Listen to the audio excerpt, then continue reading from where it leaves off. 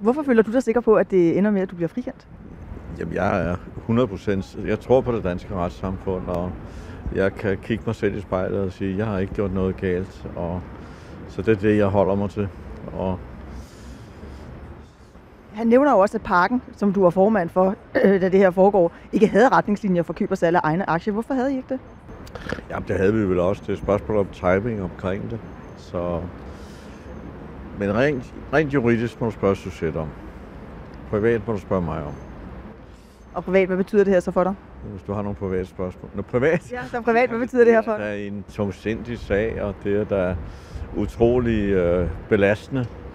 Det er da belastende, kan man sige, at du venter i først to år, så i seks år, og så på forsiden af det der mærkelige blad, der hedder Ekstrabladet hver anden dag, med en mærkelig overskrift efter den anden, hvor ens familie og børn skal kigge på det. Det synes jeg er ikke er rart, men øh, det er en del af, af, kan man sige, det der hedder mediebilledet. Der er forskel på, hvordan man fremstiller sagerne.